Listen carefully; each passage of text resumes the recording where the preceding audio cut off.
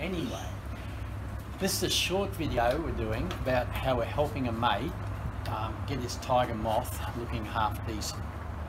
What he's done, he's scored himself an, an old Arizona Models quarter scale tiger moth ARF. It's so old, it's still in the box, but it's so old that the covering's all fallen off and it needs a lot of work to get it going again, to get it going in the first place. Um, he's recovered it, but he's come up against this problem with the fuel tank, the scale fuel tank. Um, this is what he's got. This is this um, Arizona models quarter scale tiger moth, which all looks all nice when it's put together. But their fuel tank is rather lacking in detail. I don't know if you can see that but there's no there's none of the corrugations on the fuel tank. And probably more importantly for us this is a photo of, the, of a real tiger moth. And this structural beam at the back the fuel tank's meant to sit on it on these brackets. But what Arizona models seem to have done is um, incorporated their fuel tank and that beam all into one so this is what's come in the ARF kit. So it should finish, the fuel tank should finish back here and this should be a beam, a separate structural beam, but it's not. So we're not going to reinvent the wheel. The idea is to just make this look half presentable. His first idea was to look online and see if you could find something. Um, traditionally they put you know corrugated cardboard or um, corrugated um, styrene sheets and melted it and heated it to make it fit but the corrugations aren't the right size difficult to fit. Um, so then he went looking online and he found this thing in the UK it's a it's a molded tank quarter scale tank in its own right it's quite good and you could make that work but it doesn't match the mounting holes for the cabane struts that are already there. The lengths are all wrong and be a lot of work to make that fit. We then had the idea of cutting, like cutting it out and just using the corrugations as a veneer to fit over the tank that he already had. But that would have been, because it's all molded in, it's like a three-dimensional shape and structure to cut that out would have been an enormous job and um, probably not look that good anyway. So that gave us the idea to make our own veneer to go over this with scale corrugations on it. So the way we went about that, first job was to get this shape into Rhino where we could actually start working with it. So we used a standard old um, scanner to take that shape. So we drew the profile of where the actual wing goes versus the size of the tank. Stick the head in your scanner, put a ruler in the scanner to give the whole thing dimension and scan it as a picture. And what that did, it brought in this thing. So this is the image we ended up with from the scanner. Put a bit of white paper down so we could see the uh, ruler, the scale on the ruler. So we're in Rhino, this is Rhino 3D, which is our CAD of choice. Lots of other CAD programs, and they all basically do the same thing. So the first thing is to scale this to the full size. So there's a scale button 2D scale. And you can say you can go zoom right in on the ruler and say from there to some graduation on the ruler say there is 260 millimeters. And that now scales that picture to full size.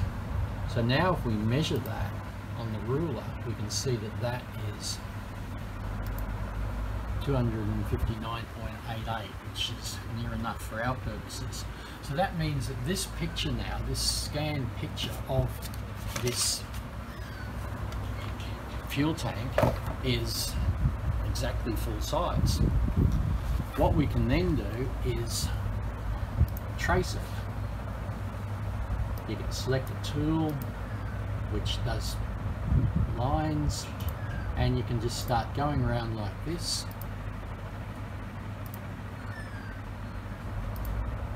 and making an exact copy of that shape. I won't bore you with all that, but um, that's basically how you do it, and you end up with um, this.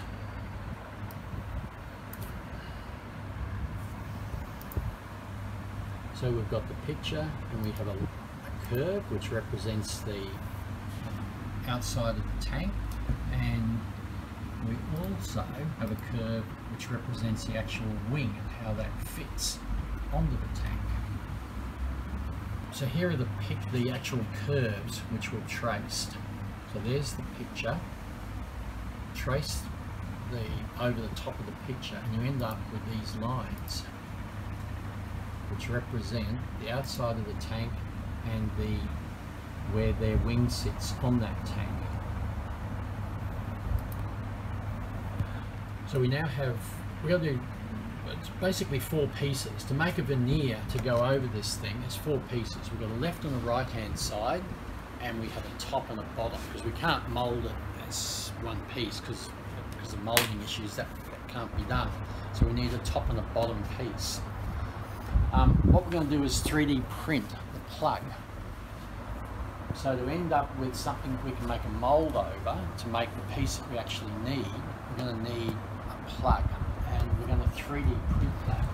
This is what we, to make the top and the bottom um, veneers, we 3D printed a, a plug, if you like, with all the corrugations and the details and the little um, filler caps and vents and outlets and all this stuff on it and that comes out of the 3D printer um, which we then made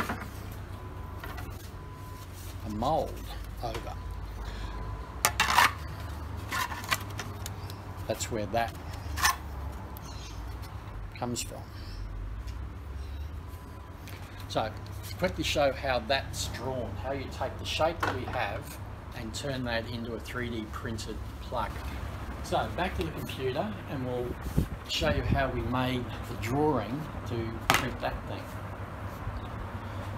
What we did, we got the full-size picture of a full-size tank and being really anal, we counted the, um, the number of corrugations and the pitch and the depth of those corrugations and we drew a series of corrugations probably not perfect and if we researched it better we'd get a more accurate shape but this is um, where we ended up.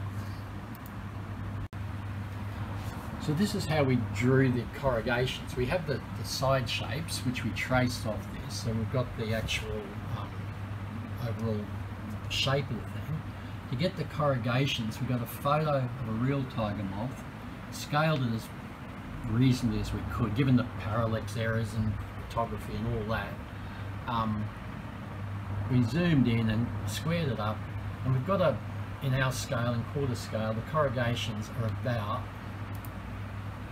roughly a mil top to bottom, and peak to peak is roughly what three and a half, three, three and a half mils. So to recreate the geometry of the corrugations, line. We offset it one mil, so that's the um, peak to trough of our corrugations. We can draw a starting point. We can draw a, midpoint for our corrugations. We'll offset it 3.5 um, mils because that's our our pitch, clean that drawing up, and we want to divide that midline into fours.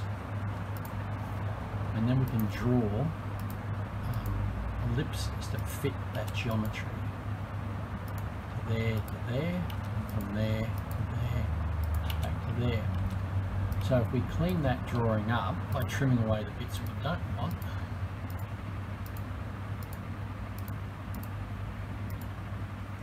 we end up with that as our um, one corrugation, if you like, join it up. So we can take, we can get rid of that now, join that up, and then we just array that along. Array is just like a, a bulk copy. Um, know, 50, we'll pick a number, one in the Y, one in the Z, and we're saying that point becomes that point, and accept. So there's our um, line of corrugations. So now that we've got our row of corrugations, we've added just a little flat at each end to give us some trimming space. So once the thing is molded, we're not ending on a corrugation. We've got a little bit of about six mil at each side to uh, trim off and neaten it all up. So this is where Rhino 3D becomes 3D. So at the moment you can see down the bottom here we're in top view and we're looking down as a 2D XY um, 2D drawing. If we click perspective view we now go into a 3D view. So we can take that row of um, corrugations and using this gumball thing we can rotate it into the vertical and then we can rotate it around that way and we've got here our shape of the tank which we got off the scanner we've put it in 3d space and I've made a copy of it 178 mils away which is the width that we're going to end up making. So then you can take this um, row of corrugations, can't, and snap it to a point. So you can see how we're developing the geometry of this tank. So we've got our side shapes. It, it doesn't taper or anything, it's just a, a parallel box, or round box, and we now want to create a skin around that with those corrugations. So really quite a simple process. Click one, click two, and it has a command up here which is a, a sweep around two rails. So it's a sweep two rails and it's asking us for the section to sweep. So we click our corrugations and hit enter. Um, it's all nice neat geometry so we don't have to tidy that up. You click OK and now we have a something that's looking like a fuel tank. We can pretty that up. Oh no, um, select the analyze surface, make it look pretty so we can see it. So you can see how that, like with only literally a few clicks, we've now got a three-dimensional tank covered in scale corrugations.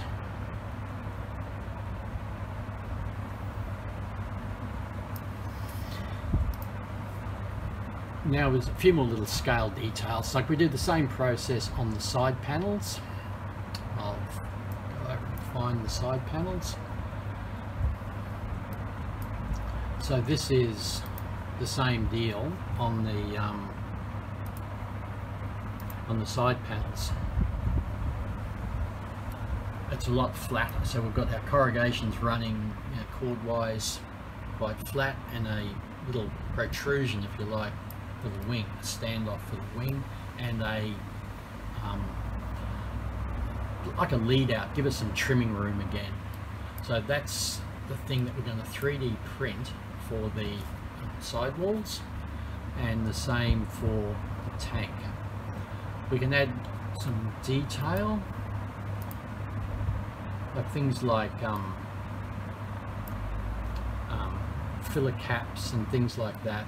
This feature across the back, just a just a box extruded through, and we just position that so that it intersects the corrugations. You get a little bit of detail. Um, then it's just basic 3D printing stuff. We export, we select that, export that as an STL file, and we open that up in the 3D slicer. A slicer program is a free software that you download, and it, into it you load a drawing of a three-dimensional object. It then slices it up so that it can be made with just a um, hundreds of layers of, of plastic, melted plastic. It makes layers. So we bring up 3D printer, um, the, the slicer, which is Cura in this case. You load in the thing we just exported, which is this. We don't want it to print that way because it, it builds in layers. So we want the layer effect to actually work for us and be part of the corrugations. So you can stand that up, you can you know, play with this thing. Um, you can see that it's going to fit the bed and all that sort of stuff. And then you can set the quality. The quality is how thick each layer is, how much um, um, infill, like it creates the outside edge and then it infills it so that it makes it quite solid so you can uh, make a mold of the thing and it's not going to fall apart. So all those things are parameters you set in the slicer program.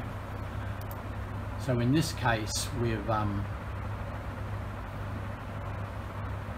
put uh, about 20% infill. So you can see how the infill is in there and it's made this honeycomb sort of pattern that infills it which gives it strength.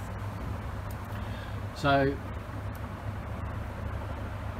basically we send that to the 3D printer now. So day and a half later this is what the 3D printer has, has given us. What we then do is treat that as a, a, like any other moulding project. We um, wax it up we put tooling gel coat which is like a hard first layer and then we put six layers of 200 gram cloth on it and it makes a, a mold which is a female copy of that shape. So we had one that side which fitted there and then we did another one on this side.